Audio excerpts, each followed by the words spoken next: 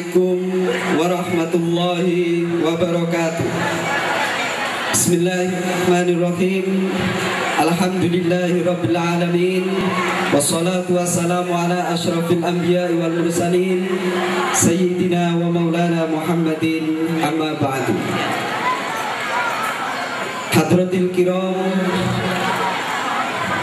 Kepada Kiai Haji Soleh Bahrudin selaku pengasuh Pondok Pesantren Ngalah Al Mukarrom kepada Haji Agus Ahmad Fadlan Al Mukarrom kepada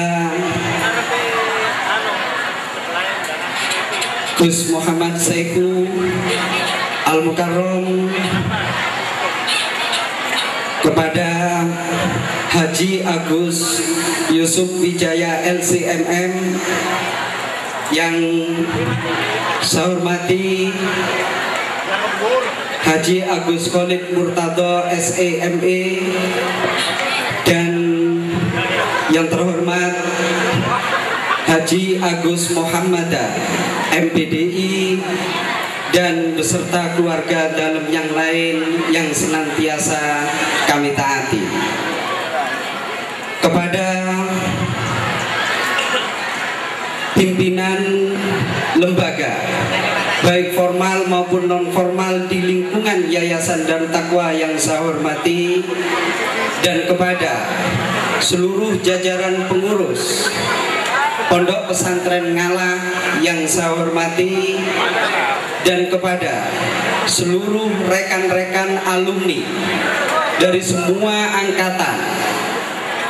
Baik angkatan yang pertama sampai angkatan yang paling modern atau angkatan yang paling akhir yang saya hormati. Alhamdulillah di pagi yang bahagia ini atas berkat rahmat dan taufik dari dan hidayah dari Allah Subhanahu wa taala kita semua dapat bertemu dan melepas kangen serta bersilaturahmi bersama di dalam acara Ikatan Alumni Pondok Pesantren Ngalah. Solawat ma'asalam mudah-mudahan tetap terlimpahkan kepada junjungan kita Nabi besar Muhammad Sallallahu Alaihi Wasallam. Hadirin rekan-rekan alumni yang saya hormati, saya selaku panitia yang pertama mengucapkan ribuan terima kasih kepada semua pihak yang telah berpartisipasi, yang telah mendukung suksesnya acara temu alumni akbar yang perdana ini yang tidak mungkin kami sebutkan satu persatu.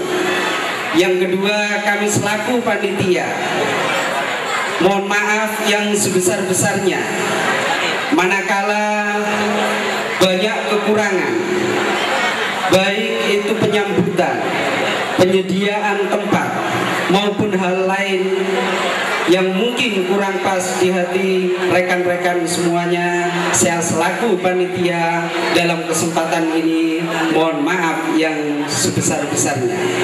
Hadirin rekan-rekan alumni yang saya hormati acara temu alumni Akbar Perdana ini sengaja memang diadakan bukan karena kita diundang oleh pesantren ngalah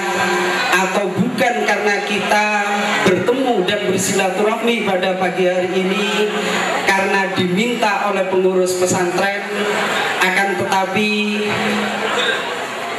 ikatan atau pertemuan alumni pada pagi hari ini diadakan akibat dari banyaknya masukan dari berbagai teman bahwa seiring dengan perkembangan pesantren yang lompatan perkembangannya cukup pesat dan luar biasa maka banyak sekali alumni-alumni yang tersebar di berbagai daerah baik yang ada di luar Jawa yang ada di Jawa Barat yang ada di Jawa Tengah lebih-lebih di Jawa Timur banyak merindukan kapan bisa ketemu dan kapan bisa silaturahmi dan kapan bisa melihat perkembangan pesantren ngalah lebih dekat.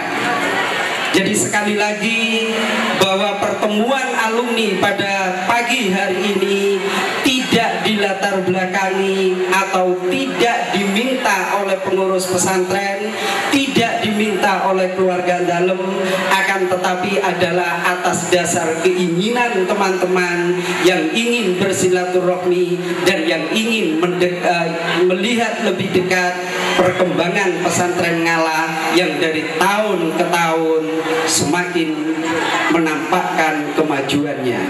Inilah yang melatar belakangi kenapa pertemuan alumni pada pagi hari ini diadakan. Oleh karena itu kepada rekan-rekan alumni besar harapan kami selaku panitia bahwa acara ini bisa diikuti dengan tuntas sampai nanti paripurnanya acara mengingat susunan acara pada pagi hari ini cukup padat dan cukup banyak sekali. Oleh karenanya harapan kami adalah panitia rekan-rekan semuanya tetap istiqomah di dalam duduknya sambil nanti sampai nanti Romo Kiai Haji Soleh Bakudin menyampaikan tausiahnya kepada kita sesuai dengan urutan dan runtutan acara yang telah tersusun dengan baik. Jadi sekali lagi harapan kami adalah rekan-rekan rekan-rekan alumni tetap mengikuti acara ini dari awal sampai akhir.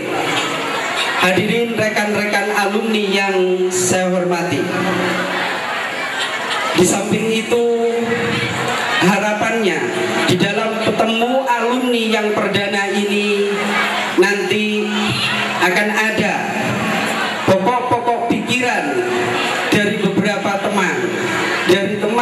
semuanya. Tentang berkelanjutan pelaksanaan alumni ini. Karena harapannya adalah ini bukan pelaksanaan yang pertama dan yang terakhir. Pertemuan alumni seperti ini harapannya adalah bisa berjalan secara terus menerus dan perkara nanti apakah itu dilaksanakan satu tahun sekali, dua tahun sekali ataupun tiga tahun sekali nanti mohon pemikirannya dan bisa kami tetapkan sebagai program di kepengurusan nanti. Karena Bapak rekan-rekan alumni yang saya hormati, sebelum acara ini adalah dilaksanakan, kita sudah berkali-kali mengadakan koordinasi dan pertemuan. Oleh perwakilan dari masing-masing daerah, baik yang dari Mojokerto, Pasuruan, Sidarjo, dan Malang, akhirnya mensepakati bahwa ikatan alumni Pondok Pesantren Ngalah ini dinamakan Iksan Ngalah. Jadi sekali lagi ikatan alumni Pondok Pesantren Ngalah ini dinamakan Iksan Ngalah. Kemudian yang memimpin organisasi ini adalah beliau yang terhormat Ustadz Yakutun Nafis selaku ketua Iksan Ngalah. Rekan-rekan alumni yang saya hormati, oleh karena itu harapan dari kita semua pertemuan alumni semacam ini bisa berjalan secara terus menerus dan ini adalah bukan pelaksanaan alumni pertama dan yang terakhir. Yang terakhir sebagai panitia ingin saya sampaikan bahwa ikatan alumni Iksan Ngalah ini adalah tidak terikat oleh angkatan tertentu. Ikatan alumni pesantren Ngala tidak dibatasi oleh yang lulus madrasah diniyah atau tidak. Akan tetapi paradigma yang dalam ikatan alumni ini adalah bagi siapa saja dan semuanya saja yang pernah nyantri di pesantren Ngala dan itu adalah statusnya alumni. Sehingga tidak pernah dibeda-bedakan. Ini adalah alumni yang lulus madrasah diniyah atau yang. Ini adalah semuanya masuk di dalam keanggotaan Ikatan Alumni Pondok Pesantren Ngalah atau yang kemudian dinamakan dengan Iksan Ngalah. Oleh karenanya di dalam penyebaran undangan Terus terang saja kami selaku panitia di dalam penyebaran undangan mengalami beberapa kesulitan. Kemudian pada pagi hari ini yang hadir luar biasa Ini adalah karena berkat kerja kerasnya Koordinator daerah dan petugas penyebar undangan Yang tidak pernah kenal lelah selama satu bulan penuh Terus menerus berusaha menyebarkan undangan. Karena salah satu kesulitannya adalah Terus terang saja kami kesulitan mencari data jadi data alumni mulai dari alumni pertama sampai dengan alumni yang terbaru kami banyak mengalami kesulitan tentang data. Sehingga untuk berapa mencetak undangan dan disebarkan ke mana kami mengalami kesulitan. Dan sehingga awal itu adalah undangan yang dicetak sebanyak seribu undangan harapannya dari seribu undangan itu sudah mencakup ke semuanya alumni. Ternyata seribu undangan itu setelah ditelusuri hanya cukup untuk daerah Purwosari dan Sukorjo untuk yang lain sudah tidak kebagian. Ini berarti menunjukkan bahwa di daerah Purwosari dan Sukorjo saja teman-teman kita alumni pesantren Ngala sudah lebih dari seribu. Sehingga kami tambah lagi mencetak undangan sebanyak 1500 undangan. Dan ternyata setelah disebar pun masih banyak daerah-daerah yang telepon dan SMS yang masuk pada panitia.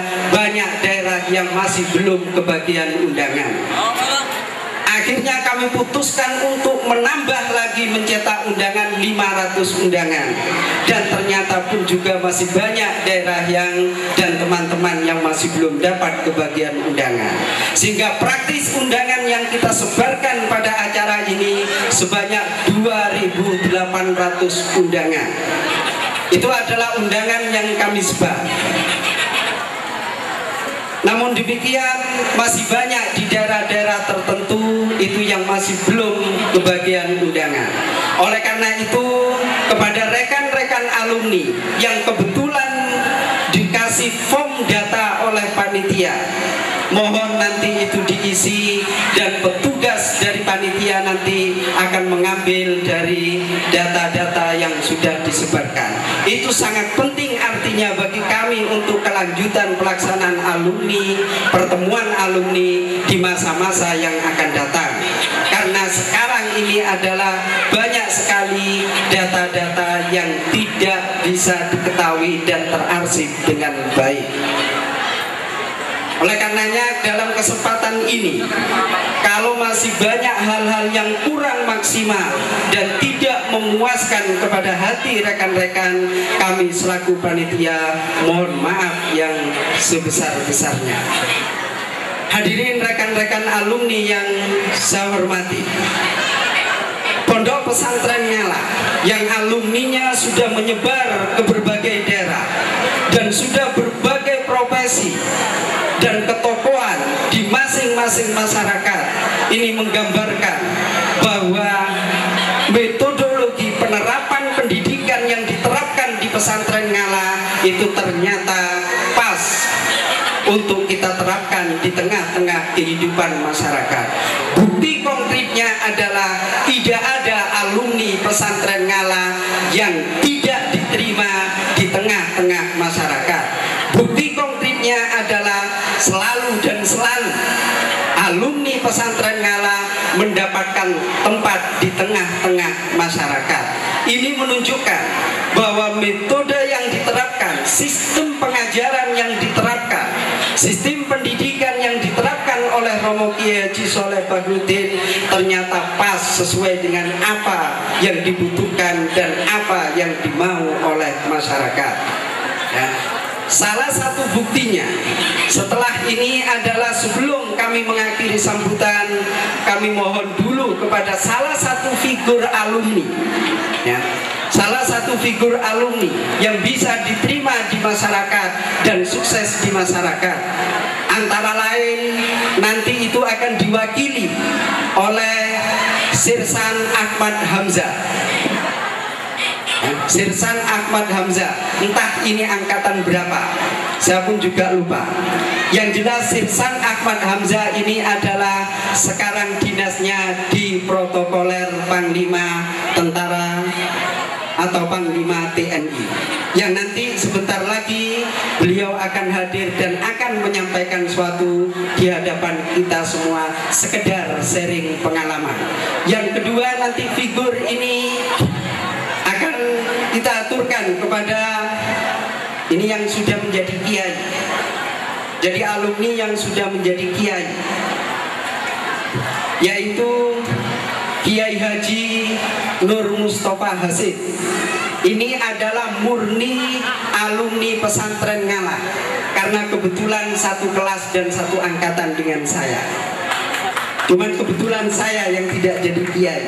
Maka nanti dalam kesempatan ini kami mohon kepada Kiai Haji Nur Mustafa Hasim, pengasuh Pondok Pesantren Ngasor Jember untuk sekedar memberikan motivasi kepada rekan-rekan alumni, sekedar sharing pengalaman dengan rekan-rekan alumni melalui mimbar yang terhormat ini. Oleh karenanya untuk menyingkat waktu, kami persilakan kepada Al Mukarrom Kiai Haji Nur Mustafa Hasim, pengasuh Pondok Pesantren Ngasor Jember, angkatan madrasah eh, angkatan 1989. Monggo Gus, monggo Kiai.